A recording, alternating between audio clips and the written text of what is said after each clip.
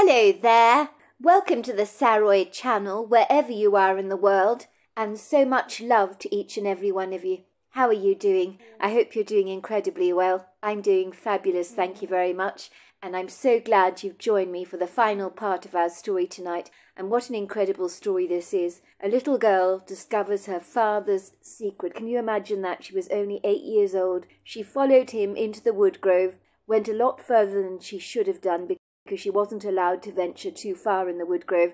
And she discovered a door in the ground, only to discover that it led to an underground bunker where her father was keeping a woman captive. So that's a very, very frightening story indeed. So let's continue with it, shall we? And before we do, don't forget to subscribe, click the notification bell and the thumbs up, and let's continue with our story. I can see that you've been starved, because you are very thin. Your bones are sticking out really badly. Your face is sunken in. How long have you been down here? asked Clarissa, flashing her torchlight around the dim space, and trying her level best to take it all in. She rubbed her eyes, wanting to wipe this all away, to believe that this was a bad dream that she would surely awaken from, but she knew it wasn't. There'd always been something rather unfathomable about her father, something she knew in her gut she did not like, and now she'd found out his dark secret. I'm not sure, said the woman. When you're down here in this dungeon, you don't know what time of the day it is, whether it's day or night, or how many days have actually passed. I haven't seen the light for a long time. Your father picked me up on June the first. I do know that. If you happen to know today's date, we can figure out how long I've been down here. You must have been here for about three weeks, I'm good at math, you see, so I can tell you that. It's June the 22nd today. I know because it's my birthday in two days' time. How did my dad bring you here in the first place? He's always out on the open road. He's a travelling salesman. He sells cleaning products, polishes and hoovers, all kinds of things like that. He travels from state to state. The woman considered Clarissa's words. I think I must be the unluckiest person in the world in that case. But then again, that doesn't really surprise me. I've never won a thing in my entire life, but I've always lost things. I've been unlucky that way. If you must know, I decided to hitch a lift for the first time in my life. My brother always warned me about that. He told me to never hitch a lift from a stranger. And I did. Can you believe that? that ye should never accept a lift from a stranger. I, mate, and I know that. My mother told me that. It sounds to me, Clarissa, that your mother is a very clever and wise woman. She's right about that. Clarissa thought about this for a brief second. Yes, I think she does happen to be clever. Why did you get into my daddy's car? It was simple. I needed a lift. But I'll tell you this, Clarissa. When I was getting into your father's car, for a brief second, I felt this wave of uncertainty overcome me, and I didn't listen to it. If only I'd listened to my intuition, I would not be embroiled in this sticky mess, would I? I suppose not, Clarissa agreed. Your father is keeping me here, Clarissa, against my will. He's doing horrible, horrible things to my body. But if I don't do what he demands of me, he punches me so hard, he hurts me badly. He told me that when he's done with me, and I've served my purpose, he'll slit my throat with one of those sharp knives over there on that table. He says he'll wait for me to bleed out. Then he'll bury me in the grove. He says no one will ever find me. Clarissa's eyes grew round. My daddy told you he's going to kill you. The woman nodded. Your dad is a very, very bad man, Clarissa. I've been wanting to die. I can't bear being abused like this any longer. I can't take it any more. You need to help me before he comes back. I have to get out of here. Can you bring me that axe over there on the table? The one next to those knives. It's beyond my reach. If you bring it here, I might be able to break the chain over. You want this, do you? asked Clarissa, handing the woman the axe that she found on the table. The woman gratefully took the axe from her and began to carefully hack away at the chain with huge, loud blasts. Clarissa closed her eyes tightly. She couldn't bear to watch, in case the woman accidentally hacked her foot off. But to her surprise, the chain broke easily, and the woman's foot was rescued and freed from its incarceration. Clarissa observed that the young woman was completely naked, something that she had managed to overlook, as the woman's body was completely covered with dirt. Bruises were all over her body, and scratches. Her face was filthy dirty, and the damp space smelt disgusting of urine. Clarissa may have only been eight years old, but she knew in that quintessential moment that what her father had done was incredibly wrong. Very wrong. Her father must be a very bad man. But what if he were to come back right now? She could get into heaps of trouble. Maybe he'd lock her up as well so that her mother would never find her, and she'd never see Bosman again. And for reasons unbeknown to her, the idea of not seeing Bosman again made her feel desperately sad, and a tear trickled down her cheeks. Don't be upset, little girl, said Catherine, looking up at Clarissa with concern in her face. It must be upsetting learning this about your father, I know. I'm just scared about my daddy coming back, said Clarissa. He'll lock me up. I know he will. He'll be so cross with me for helping you. That's not going to happen, said Catherine reassuringly. Everything's going to be just fine, I promise you. Your dad will never be able to lay a finger on you again. The woman tried to stand up, but she almost fell backwards, as if the blood had rushed very quickly to her head. She suddenly became faint. The young woman didn't look at all good. She looked like a starved dog that hadn't eaten for many weeks. Her stomach was concave, and the ribs jutted out through her skin so obtrusively, rather like the roots of a tree. We need to go, said Clarissa, but my father can't know I helped you escape, because then I'll get into lots and lots of trouble. You're not the one in trouble, love. You rescued me, remember that. Your dad is the one who's in trouble. But I need to get out of here. We need to get help. Where exactly is this place? I was brought here in the back of your father's trunk, in his large SUV. He travelled over quite some distance. He dragged me through a wooded area, and at gunpoint forced me into this underground shelter in the middle of the woods. I do know that much. You're in Wyoming, said Clarissa. How did you find me, little girl? I don't exactly understand how you managed to find me. I thought my daddy was going for a swim in the creek. It's why I'm wearing my swimming costume under my dress. Look, she said, lifting up her dress to show the woman her red swimming costume. I wanted to join him in the water. I was going to surprise him. I didn't think he'd be terribly pleased with me, but I thought he'd come round in the end. I followed him here but I've never seen this place before, as my dad's never allowed me to go into the woods beyond the creek. I knew my dad had a workshop in the woods, but I didn't know about the secret room under the ground until I watched him opening the door. I thought he was keeping my birthday present down here, you see, and I wanted to take a quick peek at it because I thought he was giving me a special bike and that he was doing it up for me. I always know what I'm getting for Christmas and birthdays because I find my presents. I like to peek at what I'm being given. The woman nodded. Yes, I had a feeling I was in Wyoming. It was just a feeling I had, but I was sure I was right about it.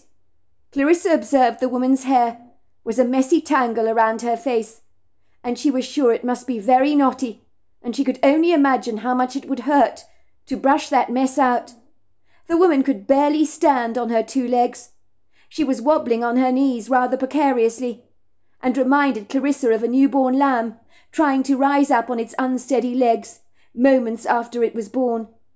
The woman was breathing heavily, as if it was a monumental effort to perform the most basic of human movements.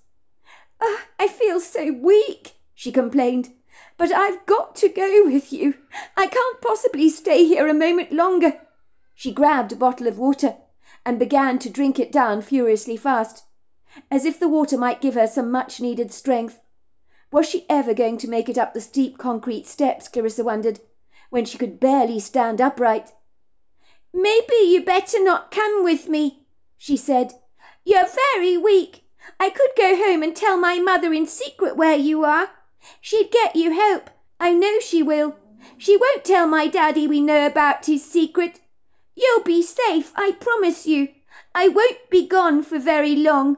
No, Clarissa, you can't do that. You can't do that. You, you, you can't leave me here. Please, I'm begging you. I know I'm weak, I have to get out of here. If your father comes back, he'll kill me. I know he will. There isn't much time left. I'm dying, Clarissa. Can't you see that? I'm weak. Please will you pass me my clothes, Clarissa? They're over there on the bench. I've been naked since your father brought me here. Luckily the weather's been hot, because I've been fine. If it had been cold, I'd have probably frozen to death. Clarissa found the woman's clothes. To her horror, they were covered with blood. But it was better the woman put them on than remain naked. Clarissa, I want you to think long and hard. You say you don't know this part of the woods because you don't come here, because you're not allowed to. Do you know anywhere you can take me to that is not far from here, where I could call for help? A nearby farmhouse, perhaps, or a road where I could flag down a passing driver or something. It won't be safe, Clarissa, to go to your house.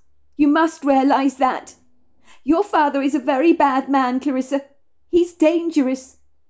If your mother learns about me, he could even harm her, because he'd want to stop her from telling anyone about his dark secret. There's no lengths he wouldn't go to to protect it, I'm most sure. You need to come with me, Clarissa. If he finds out you've helped me, he might harm you as well. He may be your father biologically, but he's a monster. You do realize that, don't you? People are locked up for crimes like this. He'd be locked away in prison for the rest of his life if the law found out what he'd done to me. Clarissa nodded. A tear rolled down her cheek again. I thought my dad was like Bosman. A little cranky, but I thought he could so easily change. I think I always knew there was something strange about my father. My mum knows it too, but she just tells me not to press his buttons because he can be quite, quite horrible when he gets mad. Who's Bosman? asked the woman, looking perturbed. Bosman's my cat at home. He scratches and bites people. He gets cross. But underneath it all, he's really a nice cat. He's been coming around recently. I've been able to stroke him. I thought my dad was the same. He's not, Clarissa. I'm so sorry to tell you this. I know it's hard to hear. Cats can come round. They can become tame and domesticated. But some men never can. Your father is not right in the head. Clarissa nodded. I know, she agreed. It was with a monumental, superhuman effort that Catherine inched forward very gingerly, taking tiny steps, heaving and grunting as she did. It was very difficult to pull herself up one step, followed by the other, as they were uneven and were very, very steep. She told Clarissa that her body was hurting, not only from food deprivation, but also from all the brutal punches that she had sustained from Clarissa's father. She was surprised that she hadn't punctured a lung or broken any bones, given the brutality of those attacks. Slowly but surely, Catherine managed, with the help of Clarissa, to finally get up to the top step, until they were both successfully out of the underground trap, in which she had been incarcerated for the last three weeks or so, against her will. Catherine breathed in the fresh honeyed air, as if it was quite literally the most beautiful thing she had ever inhaled. Oh, I can't believe it! I actually made it up the steps, and I'm here. I'm almost free. Well, almost. Where are you going to take me, Clarissa? she asked, leaning on the eight year old for support. I think we'll go up that path over there, said Clarissa decisively. She had never felt more grown up in all her life as she did now. That will take us to the Clarence farmhouse. Mrs. Clarence is very nice. She'll help us. I'm sure she'll call the police for you. How far is the Clarence farmhouse? asked Catherine, looking as if the idea of walking any further was an impossibility that she simply could not entertain.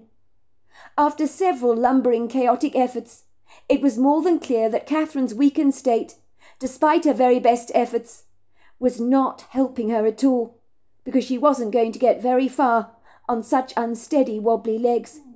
It was like all the last remaining dregs of energy that was left within her had been violently ripped out of her system. She had become like a car in the knacker's yard, an old one at that, that was devoid of any gas and simply refused to budge an inch. You need to wait for me here, said Clarissa, realizing that Catherine could not move any further. I'll go to Mrs. Clarence's farmhouse. I'll get help for you. You need to hide behind the tree, behind my father's workshop over there. Wait for me there. Promise me that you'll be back soon, asked Catherine nervously, looking around and about herself. What if your dad comes back, Clarissa? It's unlikely he will. He's probably gone to bed by now. He could be fast asleep. I won't be long, I promise you. Please hurry, Catherine said, staring after the eight year old girl, who bounded through the trees like a gazelle to get her help. She had never met anyone like little Clarissa before. What a brave and clever girl she was, for one so young. How disappointed it must have been for her to discover that her father had not been keeping a puppy nor a bicycle for her. Instead, Clarissa had stumbled over her father's insidious dark secret. The pretty little girl, with her blonde ringlets and round blue eyes, looked so innocent, so whimsically naive. But she was older than her years, in terms of her emotional maturity. She was as sharp as a button, and she knew instinctively that what her father had done was very wrong. Yet despite her obvious loyalty to her father, she had known the right thing to do was to call for help on Catherine's behalf. And Catherine knew the little girl would do as she had promised. Catherine realized she was very lucky that Clarissa had found her, for she knew she wasn't out of the woods yet, though, until she was around people she could really trust. Catherine tried desperately to imagine what that little girl must feel to uncover such a horrifying truth about her father. She wondered if there had been any warning signs in the child's young life that had made the little girl suspicious of her father, that there was something perhaps that wasn't quite right about him. She had almost suggested as much. She wondered if Clarissa's mother had an inkling that there was something off about her husband. She was sure there had to be many signs. Yet, if the truth be told, Catherine could remember that her first impression of the stranger that would soon become her abductor had been very benign. After all, you would never just willy nilly climb into a stranger's car, if he looked like some kind of weirdo. But then again, all these serial killers you heard about, like John Wayne Gacy, Peter Sutcliffe, and more besides, had nothing about their appearance that stood out, that would warn you to keep away. On the contrary, the man who had abducted her had been extremely attractive, and he'd given her a big lopsided smile and said to her, You want a lift, do you? And she'd said, That's very kind of you. I really need a lift. Just so you know, I don't do this kind of thing, except lifts from strangers, I mean. But I'm stranded, in a position where beggars can't be choosers. She didn't tell the stranger, who was giving her a lift, about the unfortunate quarrel she'd had with her boyfriend. She had been so mad at Kevin. She had told him to let her out of the car at once, and had stormed off. She had told him it was over between them, and that she never wanted to see him again as long as she lived. And he had just simply said, That's fine by me. The feeling's mutual. Kevin had probably thought she'd call an Uber to get a lift back home. But what he didn't realize was her purse, along with her cell phone, were tucked under his seat. She knew the only way to get help was to wave down someone on the road, and it was just her bad luck to wave down a predator. What were the chances of that happening? It was when she'd climbed into the seat next to the stranger that there was an inner nudge inside her telling her to get the hell away from this man and not to accept a lift from him under any circumstances. Catherine had persuaded herself that such a burgeoning inhibition was irrational. She had never hitchhiked a day in her life before, and she knew she'd never do it again. She knew that nobody would be looking for her, as she and her boyfriend had just split, and he probably didn't even bother to clean out his car. So it would be a long while before he discovered her purse under the seat. And even if he did, he'd probably send it straight back to her in the post. The argument that they had had in the car had been very brutal. There would be no coming back from this. Catherine had only recently settled in South Dakota, and her parents were living abroad in the Seychelles, and so she didn't speak to them very much. So in truth nobody would know that she was actually missing. And if that wasn't bad enough, she'd only just been sacked from her waitressing job at the restaurant she'd been working at, because she'd had a nasty fallout with the manager there. So no one would know that she was even missing. When Catherine tried to think about what had happened to her that day, when she had accepted a lift from Clarissa's father, her memory had become foggy and vague, probably because she didn't want to remember very much. She did recall that he'd pulled out a Glock revolver, stopped the car, and insisted that she got into his trunk. She had been so terrified. Everybody warned you never ever to get into the car with someone pointing a revolver at you. But she had not been able to disobey this man. She had been so afraid, far too afraid to do what they advise you to do, when they tell you to run away or scream. She hadn't been in a position to do any of those things. But she knew with certainty that she had sealed her own inevitable fate, and that she would unlikely get out of this alive. Her abductor had driven her for many hours, cooped up in a hot, stuffy trunk, in very inhospitable conditions that had almost killed her, because it had been insufferably hot. The man had surreptitiously brought her here, and kept her a slave for the last few weeks. He had forced himself upon her, and the pain had been absolutely excruciating, like nothing she'd ever experienced before. And she had seen Clarissa's father literally get off on her fear and terror, as if it electrified him and gave him some kind of a head rush. When he told her that she should be proud, as she was his very first, and there would be more to come, she had been quite stunned by this. She had also realized after speaking to Clarissa that she had been confined to this underground prison for over three weeks, but it may as well have been an entire lifetime, for it seemed as if time had just stood still. Please, please let me go, she had cried out. I won't tell anyone you brought me here. I won't tell them you raped me, that you hurt me. I won't say anything, I promise. Just let me go. Her abductor had cruelly laughed at her, square in the face. Her suggestion had been preposterous to him. I've only just started having fun with you, Catherine. I'm enjoying myself very much. You think I want to let you go? Are you crazy? he had said, shaking his head. I haven't finished with you yet. And even if I had lost interest in you, do you really think I'd let you go? You may be the first woman that I've ever abducted, but you will not be the last. If I went all soft on you, my days of enjoying myself like this would surely be numbered, and that is not going to happen. Do I look as if I've got the word mug written across my face? I've got way too much to lose to ever let you go. I have a daughter and a wife, and I'm not going to let the likes of you destroy my life. You're my slave, and when I'm done with you, there will be others to follow. Catherine had realized that this monster who had abducted her was quite literally a psychopath, devoid of any emotions. Every time he raped her, it hurt so dreadfully bad She'd close her eyes and beg God for it all to be over, and the more she cried out in agonizing pain, the more physically aroused her abductor became. In truth, death was significantly more preferable than being subject to this man's brutality a moment longer. It was on this unassuming evening, when she hadn't even realized what time of the day it was, that the monster had come back again to have his wicked way with her, that she had lost all hope sensing that she couldn't face another hour with this man again. She had been whimpering from the pain and the aftermath of the rape. It was after he'd left she had suddenly sensed she was not alone, and that was when she heard a girl's voice saying, Little puppy, where are you? Where are you, little puppy? In the cloying darkness of the clammy, sticky atmosphere, in this underground bunker, she had observed an eight year old girl, whom at first she had persuaded herself had to be a ghost, for she couldn't be real. Yet eight year old Clarissa had turned out to be the monster's little child.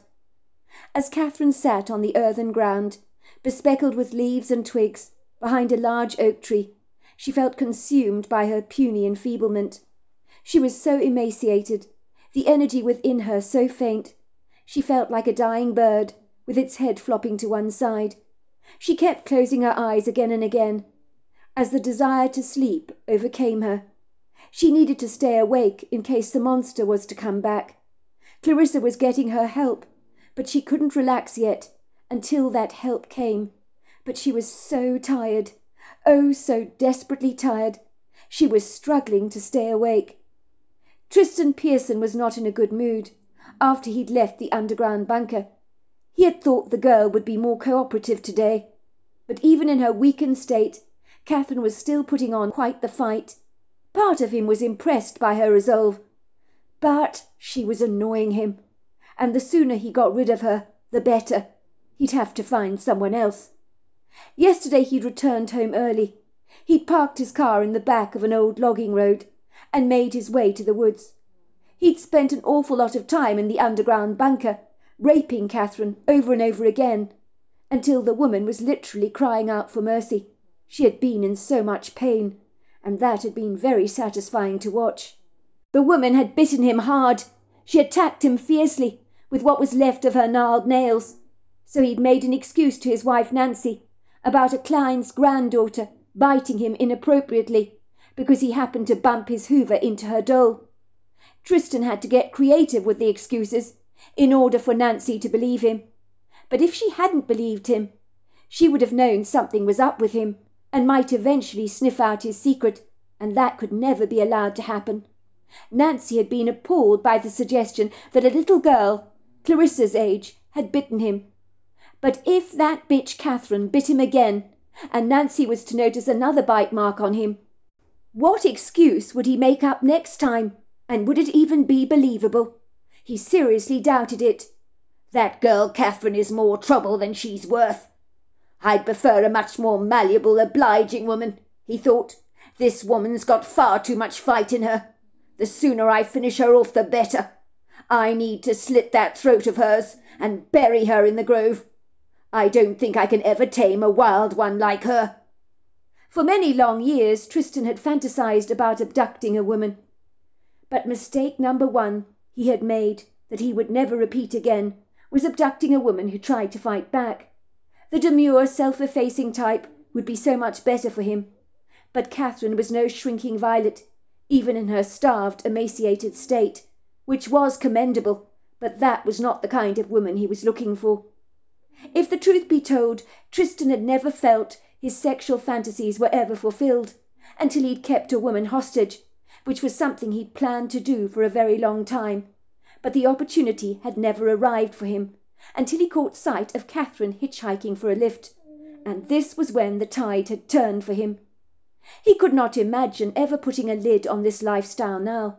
It had been so incredibly exciting to hear Catherine scream out in agonizing pain, and it sent him into a rapturous euphoria that he now knew had become like an insatiable drug that would never end with just one woman. Catherine would be the first of many. He was too clever to get caught, he thought. Next time I'm going to be a whole lot more discerning as to who I actually pick up, he thought to himself. It was an uncomfortably unpleasant night. He had told his wife he was going to take a dip at the creek, and so he decided to take a short cut to the creek before he returned home to get the nasty smells of ammonia off his body by taking a plunge in the ice cold water. It was as he was navigating his way to the creek that he found his daughter's beach towel lying rolled up in a bundle along the path, as if it had been accidentally dropped there. What the hell, he thought. What was that doing there? He didn't think too much about the matter, but found use for the towel after enjoying a dip in the water and returning back to the house. It was as he was in the house making himself a glass of ice cold cloudy lemonade. He thought about how odd it was to find Clarissa's towel in the grove. He thought he ought to check up on his little girl to see if she was still in bed. And when he realized that Clarissa was not in her bedroom, nor was she lying in bed, a horrifying thought crossed his mind. Had Clarissa sneaked out into the grove and followed him, assuming he was going for a swim in the creek, but realized he'd taken a different path? How could I be such a fool? I knew someone was watching me, he thought, when I was about to enter my underground bunker. I felt someone there. I was certain I was being watched. Please, God, don't tell me Clarissa saw the door in the ground. Don't tell me she saw me. He knew exactly what his daughter was like. She had an insatiable curiosity on her, and was always following him around, like a pathetic, very annoying lapdog. What if his little girl had uncovered his insidious secret? Tristan did not hesitate to make a quick dash to the grove. His daughter Clarissa must be stopped at once, before it was too late. He'd do absolutely anything to protect his perfidious secret from coming out. The night seemed to be cloyingly oppressive, very clammy. He found he was perspiring profusely, and sweat had broken out under his armpits, and water was rolling down his back like raindrops. If that wasn't bad enough, all these nagging, inauspicious thoughts were playing treacherous mind games with his mind. He had a horrifying vision of Clarissa stumbling across Catherine lying naked on a blood-soaked mattress in the underground bunker. I have been so careful, he thought. Little Clarissa is about to ruin everything for me. I won't let her do that for me. If that happens, she's a dead girl. It had suited him to get married to Nancy when she'd fallen pregnant all those years ago. But he knew there was no emotional attachment between the two of them. The truth was Tristan didn't love anyone apart from himself. Everybody else was disposable in his life as far as he was concerned. But at the same time, being married to Nancy and having a child like Clarissa made him appear like a regular family man, which was a useful cover for him. Tristan made light work of his efficient, brisk, and purposeful walk through the woods. He had the bright light of his torch guiding the way, it was when he ventured into his underground bunker, where his prisoner was held captive, that his worst, most dreadful fears were confirmed. There was no sign of Catherine anywhere. There was no time to lose. Time was of the absolute essence. He knew this. He had to find his daughter Clarissa at once, along with Catherine, whom he'd held captive for over three weeks. Catherine was very weak and feeble. She wouldn't have got very far on foot, so he'd easily be able to catch up with her. He'd find his daughter Clarissa and Catherine, and he'd slit their throats and quickly dispose of their bodies. As he climbed out of the bunker, closing the door behind him, which he concealed with leaves and foliage, he noticed some disturbed ground further along the path that led to behind the shack, and he followed it. And there, sitting behind the old oak tree, was Catherine, she was wearing the clothes she'd been wearing on the day he'd picked her up, but they were covered with so many bloodstains, because he'd beaten her up really hard, so much so that she'd bled out, before he'd forced the clothes off her. She was sitting on the ground, with her sorry head buried beneath her knees. She appeared not to notice him, but then all of a sudden, as if hit by a sudden jolt of lightning, she looked up, and his eyes bored into hers. Well, well, who do we have here? he asked her. Go away! Leave me alone! cried Catherine, trying to rise to her feet, but stumbling over rather awkwardly, as every ounce of strength that she had left in her had been completely leached out of her body. Go away! Leave me alone! she cried out, using her hands to fight off Tristan. But it was no use. Your daughter's gone to call the police. She's been gone for a long while. It's too late for you now. It's over for you. You might as well accept it. You bloody bitch. Where did my daughter go? Tristan asked, grabbing Catherine by the hair and yanking her backwards very hard, causing her a great deal of pain. She cried out. He pulled her forcefully across the ground. Catherine let out another pained but very shrill shriek. What happened next was almost paradoxical. The ground shook, as if the woodgrove had been hit by a mighty earthquake, and there were the sounds of ponderous feet running with lightning speed through the woodgrove. The next thing Catherine knew was that Tristan had released his grip on her hair and was saying, Bloody hell! Put me down! And that was when Catherine looked up to see a huge humanoid looking creature covered with so much hair. He was easily over ten foot tall, with ponderous shoulders, overlong arms, and a ripped torso. She realized she was staring at a huge male Bigfoot. The male Bigfoot had picked up Tristan in the air, and Tristan was screaming, Put me down! Put me down! The Bigfoot appeared to be having a bit of fun with him, and then finally he thrashed Tristan's head against the tree, at least over a dozen times. Catherine heard his skull crack at once, and then there Tristan was, lying on the forest floor. He was dead. She couldn't believe it. The evil monster was dead. Was this even happening? She could hardly believe what she was seeing. The Bigfoot threw the deceased corpse over his shoulders. He then looked at Catherine through kind dark eyes. He's gone now. I'll dispose of the body. He won't ever get to harm you again. And with that, the Bigfoot glided away and was gone, and Catherine realized that the Bigfoot had spoken to her in her head telepathically.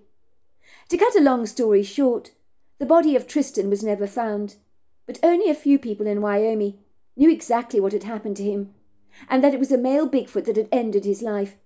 No one felt any pity for Tristan, who, in the eyes of the people that were privy to knowing the truth, was nothing less than a monster as far as they were concerned. Catherine decided not to go to the police. What was the point any more? She didn't want to tell them about the depravity she had endured for three weeks. She didn't want what had happened to her to be made public, as she didn't fancy her personal details becoming common knowledge. Now that her perpetrator was dead, no other woman was at risk as far as she was concerned. Clarissa was exceedingly grateful, as was Nancy, for her silence. They certainly didn't want people to know about Tristan's dark past, as that might make them become a spectacle of public scrutiny. People would lightly point and whisper at both Nancy and Clarissa and say, You see that woman over there and her child? Well, she was married to that dreadful monster that attacked that poor woman and kept her in an underground dungeon for over three weeks. Can you believe that? Mrs. Cameron, Nancy's next door neighbour, also thought the secret should be covered up. She realized that the Bigfoot that had killed Tristan was the very same creature that had rescued her mother from the searing heat on one of Wyoming's hottest days. She realized the creature had very much saved her mother's life, and that her mother wasn't going senile after all. Catherine soon became close friends with both Nancy and Clarissa, and two months after she had been abducted, she suddenly rocked up on their front doorstep carrying in her arms a golden retriever puppy. You saved my life, Clarissa, and probably many other women's lives besides, who could have been potential victims of your father. So this is for you. I know how much you've been wanting a golden retriever puppy. Clarissa was delighted, well, overjoyed to receive the puppy. She chose to call him Weber. It would seem that Bosman became a loving cat and developed a great friendship with Weber. Catherine received counselling and has since recovered from the trauma she experienced. She believes the trauma made her into a more compassionate person and has decided to embark on a career as a trauma counsellor herself. Nancy, when she looks back on her marriage with Tristan, has only one thing to say about it. I think you know when there's something not right with a person. I knew there was something insidious and dark about my husband, but I just did not know what it was. Clarissa felt much the same. I really wanted to love my daddy. I really did. But I always felt scared of him, and I didn't really know why. But now I do. So there you are. That's my story. Wow, what an incredible story. Until next time, goodbye and good night.